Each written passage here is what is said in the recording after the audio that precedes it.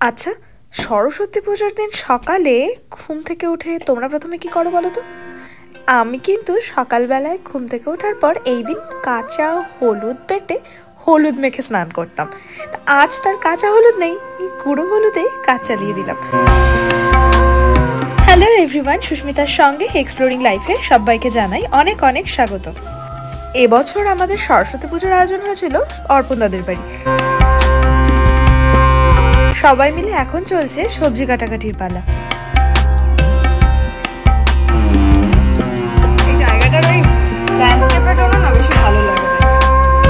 আজ শনিবার ওয়েদারটাও বেশ ভালো। সবাই মিলে ছোট্ট করে বাগদেবীর আরাধনার আয়োজন করা হয়েছিল। এর সাথে এবছরের সরস্বতী পুজো আমাদের ছোট্ট সানায়ের জন্য আরও স্পেশাল কারণ আজ যে তার হাতে খড়ি হবে। কিছুদিন আগে যে বরফ পড়েছিল, এখনও সম্পূর্ণ বরফ গলে যায়নি। আর আজ ভীষণ হাওয়া হচ্ছে বলে বরফ কিন্তু বেশ উঠছে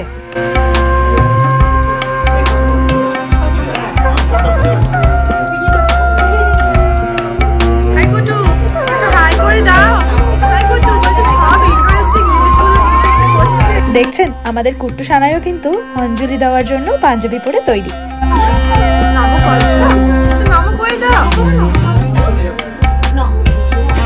আজকে আজকে কার হাতে বলে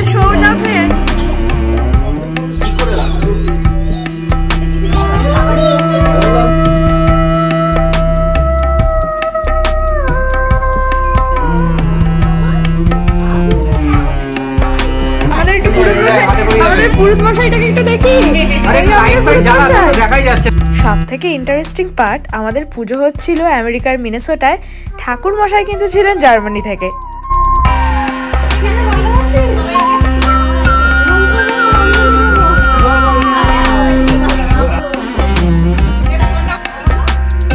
অভিক জার্মানি থেকে নেদারল্যান্ড ঘুরতে এসেছে। সেখান থেকে রাত জেগে ও আমাদের এই পুজোর অঞ্জলির ব্যবস্থা করে দেয়। ও ওখানে মন্ত্র বলে, আমরা ফোনে সেই মন্ত্র শুনে অঞ্জলি দিই। যাই হোক, প্রথমে তো মন খারাপ ছিল যে সরস্বতী পুজোটা আর এবার অঞ্জলি দেওয়া হলো না। সেই মন খারাপ এবার কিন্তু মিটলো।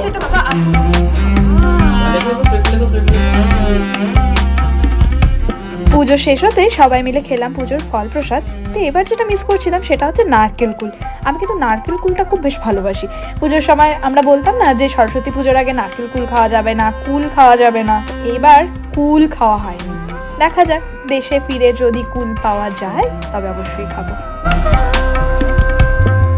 হাতে খড়ির পর ছোট্ট কুট্টুকে দেখুন। বেশ সুন্দর আপেল বসে বসে খাচ্ছিল আমাদের সঙ্গে।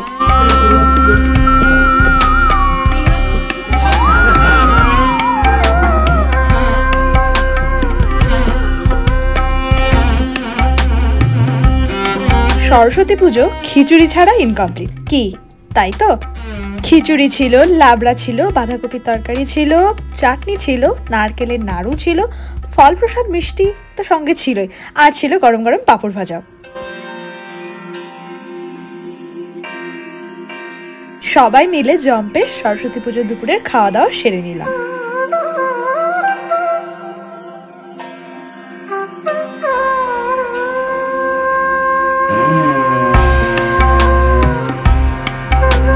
খাওয়া দাওয়ার পর অভিষেক আর আমি ঠিক করি আমরা একটু রোজডেল যাব, তার জন্য দাঁড়িয়েছিলাম বাসের অপেক্ষায়। এরপর বাস থেকে নেমে আমরা এখন যাচ্ছি রোজডেলে। আর হাওয়ার জন্য বরফগুলো উঠছে দেখছ না অনুভব করে? ঠান্ডায় কি হচ্ছে? জমে যাচ্ছ, আমি তো ভেতরে থার্মাল টার্মাল কিচ্ছু পড়ি এই রোজডেলে কিন্তু আমরা এর আগেও এসেছিলাম। আমার ব্ল্যাক ফ্রাইডের ব্লগ এবং আমি যখন আইপ্যাড কিনতে এসেছিলাম, সেই ব্লগে দেখে থাকবেন। দেশে ফেরার আগে এটা আমাদের লাস্ট উইকেন্ড আমেরিকায়। আমরা তার আগে টুকটাক কিছু কেনাকাটা করার জন্য এসেছি। এখন সেটাই কমপ্লিট করে নেব। হ্যাঁ এক বছরের মাথায় আমরা দেশে যাচ্ছি ঘুরতে। তো তার জন্যই আজকে টুকটাক শপিং করে আমরা ফিরবো।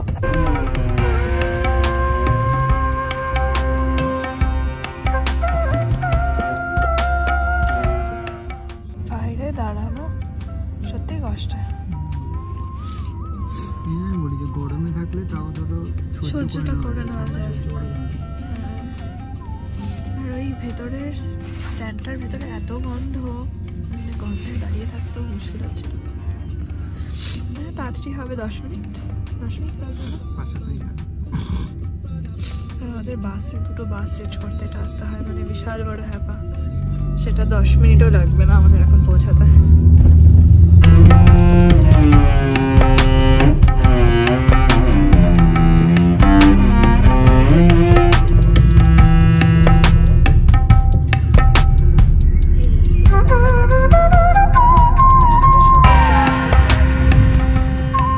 আর এক সপ্তাহ বাকি নেই, আমরা দেশে ফিরবো।